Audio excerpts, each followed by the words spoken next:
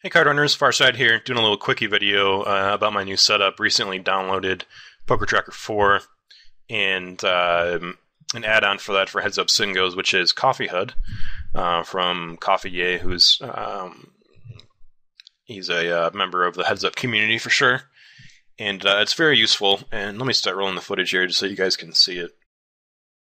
Takes a hand to uh, process. But one of the benefits, or I should say the primary benefit of it, is that you get to see what people do at different stack depths.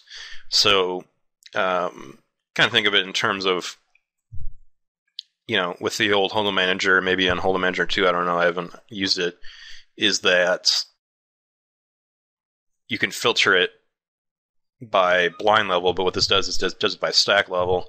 And it's just, it's very, very useful. So if we pause it here, you can see I've actually modified mine uh, quite a bit from the original one, but the kind of the spirit of it is definitely still there. Uh, but so you can see that um, it basically separates it into pre and post, and then into pre small blind, and then pre big blind, and then post small blind, post big blind.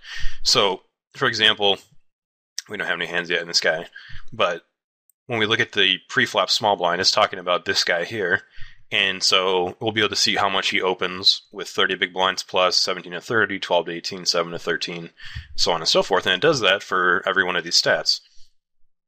And there's so many more useful things. One of the ones is that it separates somebody's three bet from their three bet ship. So, for example, at 30 big blinds plus, you'll typically see a three bet of, say, you know, 20%, and it'll usually be zero for a three bet ship. Most people don't three bet ship at 30 big blinds much at all. But when you go to 12 and 18, you can see exactly how much, you know, their three bet ship range is. And the same goes for post flop, where uh, you can see on the flop, turn, and river um, how much they're doing each thing, and it's separated very nicely. And I think uh, you did a good job. Up here in the top left, you can see shows you how many blinds you have, and then it shows you your HUD uh, for that specific game. Um, shows you exactly what you're doing, how much you've three bet, and uh, all that good stuff. So let's play the video here and we'll just kind of keep talking about it.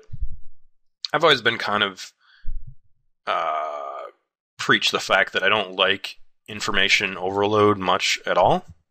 Um, the difference I think here is that it's organized in a very compact way, where it's not like before, where with Hold'em Manager, if you wanted to do all this, I guess technically you could have, but there literally would have been like 40 stats, and there would have just been a huge glob, and it you know, there's different ways you, you could have modified it, but um, overall, it's it wasn't that much fun. But this way, it separates it in a very nice, uh, clean uh, fashion, which I'm a really big fan of.